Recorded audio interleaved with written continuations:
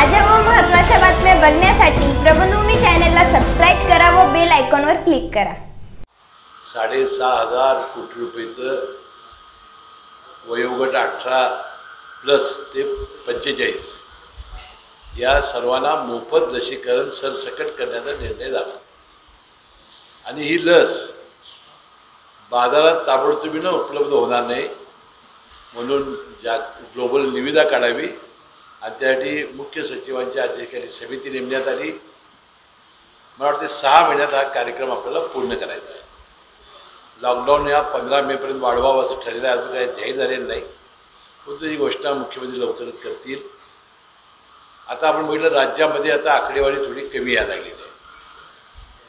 परंतु काल आलेलं डब्ल्यू एच ओचं घेब्रायसेस जे अध्यक्ष आहेत त्यांचं फार गांभीर्याने घेण्याची आवश्यकता आहे.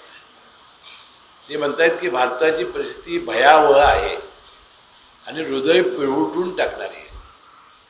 आणि जागतिक सगळं समुदाय आपल्या देशाला मदत देण्यासाठी पुढं सरसावलेला आहे. आणि आज आय एम ए म्हणजे इंडियन मेडिकल असोसिएशनचे अध्यक्ष दहिया यांनी तर इतकं विधानक द- विधान केलं की या कोरोनाचे खरे सुपर स्प्रेडर पंतप्रधानच आहेत. कारण या सगळ्या राज्यांच्या निवडणुकीमध्ये लाखो आणि हजारो लोकांचे मेळावे घेणं धार्मिक यांना परवानगी देणं या पद्धतीचं एका बाजूला आहे. आणि तुम्ही आज जर बघितलं असाल की चार पाच उच्च न्यायालयाने म्हणजे गुजरात उत्तर प्रदेश आणि आणि आंध्र उत्तर प्रदेश गुजरात आणखीन एका याच्यामध्ये फार मोठ्या प्रमाणात की त्यांनी चिंता व्यक्त केलेली आहे.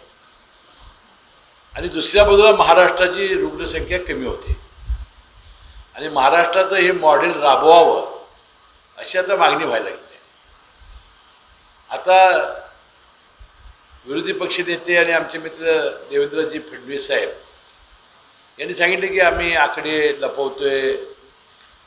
आहे चाचण्या जास्त क- क- तुम्ही कमी करताय जास्त करा असं त्यांनी पत्र दिलं आहे मग ते आता राजकारण करायचं नाही हातात हात घालून कामाला ठरलेलं आहे. त्यांच्या या याचा आदर करू आणि त्यांनी ज्या सूचना केल्या त्याची तंतोतंत अंमलबजावणी करू. म्हणजे आता देवेंद्र फडणवीस साहेबांना उत्तर प्रदेश गुजरात मध्य प्रदेश इथंसुद्धा त्यांना आता थोडंसं लक्ष देण्याची गरज आहे आणि नागपूरला विशेष लक्ष देण्याची गरज आहे.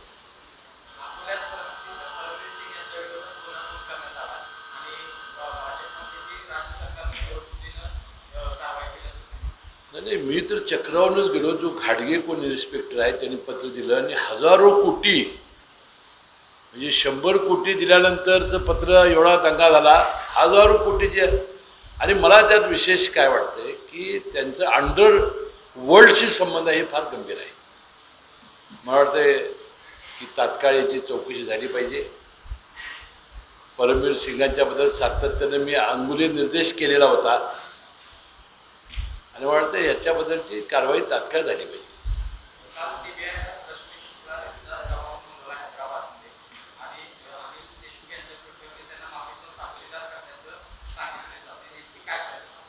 ती जरा माझी माहिती घेतली नाही. रश्मी शुक्ला फोन टॅम्पिंग प्रकरणामध्ये त्यांना आम्ही जर जबाबाला बोललो त्यावेळी त्या आल्या नाही कोरोना होता म्हणून सांगितलं. पुढचं काय झालं अजून काही मी माहिती घेतली नाही. माहिती घेऊन मी सविस्तरपणाने मांडेल ताज्या